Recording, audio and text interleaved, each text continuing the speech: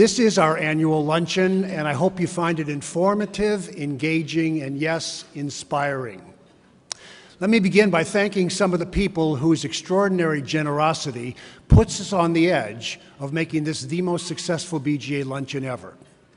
The title sponsor is the Bandon Dunes Golf Resort, developed by our friend Michael Keiser. You can see a wonderful picture of Bandon Dunes on the back of today's program. Platinum sponsors include Michael and Jackie Ferro and the Sun-Times Foundation, the Chicago Community Trust, David Herro, Michael Sacks Business, Grover, Grosvenor Capital Management, Dick Uihlein's family-owned business, and our friendly landlords at 223 West Jackson, Marc Realty. Also, our pro bono law firm, Kirkland & Ellis, which sponsored the pre-lunch reception, a thanks to David Muir and our friends at ABC7 and ABC News. And finally, our thanks to you, everyone in this room who sponsored a table, bought a ticket, or just showed up because you understand how important the fight for good government is. We couldn't, go, we couldn't do this without you, so thank you, one and all. At,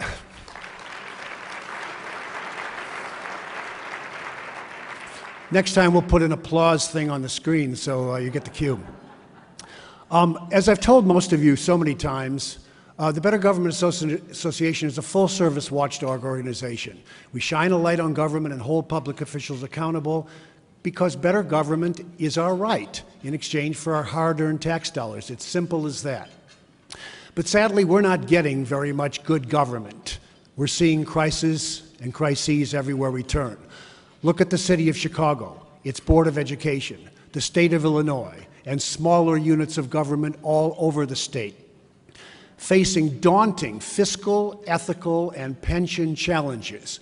Why is that?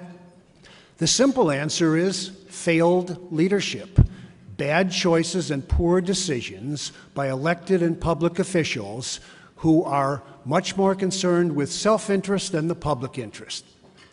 And so they have maintained their power bases by, by gerrymandering district boundaries, rigging the election machinery, and essentially setting up government to keep themselves in and us out. That's part of the problem, but ladies and gentlemen, there is a second half to the problem, and that's us. I don't mean you individually in this room, I mean citizens collectively. Not enough of us are registering to vote or voting even if we are registered or running for office or supporting candidates or showing up at government meetings or even paying attention. We have checked out. I refer to this as a crisis of civic disengagement, and it forms the theme of today's luncheon. Better government is, in fact, up to us. We can only restore our democracy through civic engagement. The BGA will do its part as watchdogs, and our friends here and all over the state will do their jobs. And so, in the spirit of civic engagement, we asked some of our friends in the BGA family and two of Chicago's most prominent civic, business, and philanthropic leaders to spread the message of civic engagement with a video. The video takes the form of an open letter, and it's addressed to all of us. So I know what we're going to do with the time we have during this luncheon. We're going to talk about the BGA now and in the future, and we're going to talk about ways that you can continue to be supportive. But I know what I'm going to do with the time I have after this luncheon. I'm going to go back to the watchdog work I do with a stellar staff 24 7, and we're eventually going to make a difference. I want to thank ABC7, ABC News, and the Mikva Challenge for some of the video, and Fig Media for creating the video. I think it does a good job of framing the problem and talking about what lies ahead. Most of you in this room do participate, but that's a message to a lot of others, and we'll try to carry it as widely and as uh, broadly as possible. At the BGA, what we're going to do to fight for this better government is we're going to work with the five pillars of what the BGA stands for. We investigate, litigate, educate, advocate, and we, we communicate. Since I came to the BGA six years ago, we've released 456 investigations of governments in, and, and the public officials in the city, the suburbs, and Springfield. If you've been following the news recently, you know how important it is to have somebody paying attention to public education. the recent indictment and guilty plea by former Chicago School CEO Barbara Byrd-Bennett on federal corruption charges, rigging a no bid contract so that she could line her pockets with more than $2 million. Disgraceful, reprehensible, sad, but true. That story might never have come to light if it weren't for the work of the BGA's senior education reporter, Sarah Karp. Sarah began reporting on that contract two years ago when she was working for Catalyst Chicago, an education publication. We thought you might like to hear some of Sarah's thoughts about that investigation, so we posed five questions. Take a look. Let me also add, by way of editorial addition,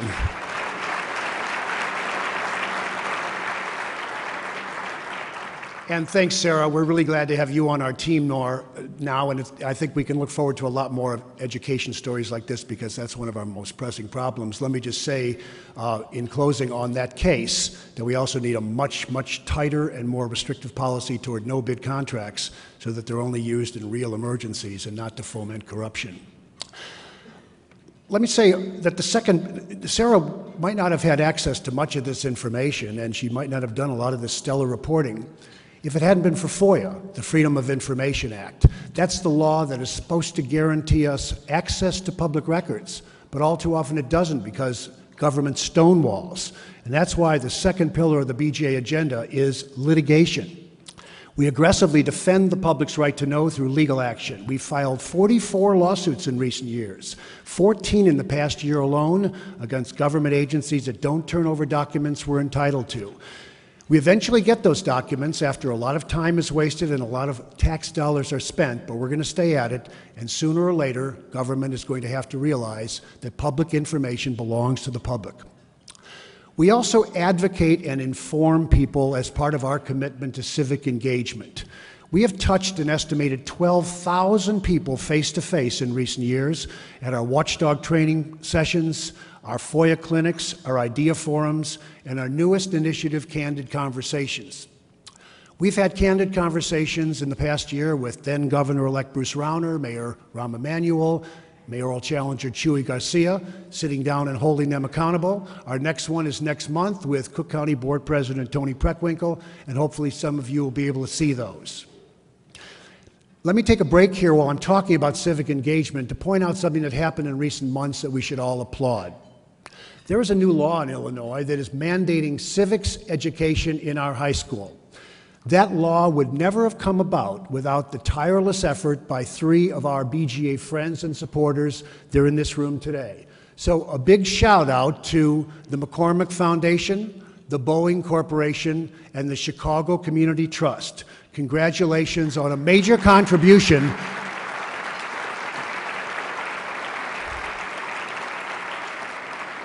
Congratulations on a major contribution to the next generation of engaged citizens and voters. That is critical.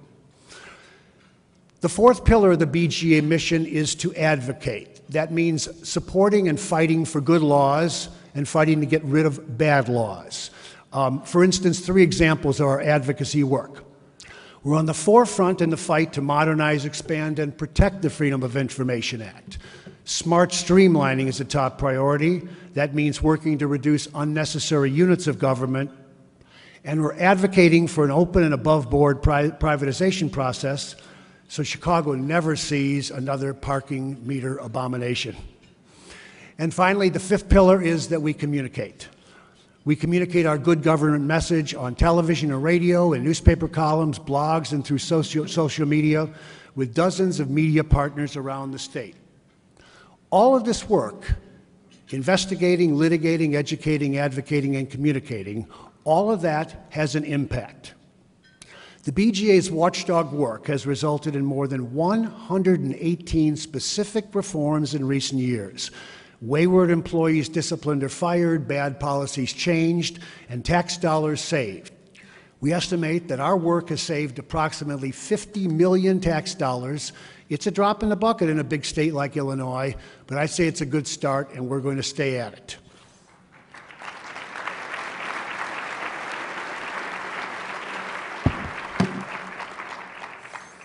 You have to excuse me, I don't have my bifocals today, so it's on and off with the glasses.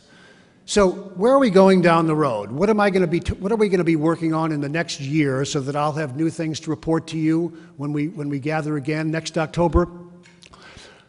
Our emphasis will be on strengthening access to public records, ending conflicts of interest, reforming our redistricting and election systems, making our justice system more just, protecting taxpayers from unwise privatization plans, and eliminating wasteful and duplicative units of government by smart streamlining. And that's just a few of our ideas.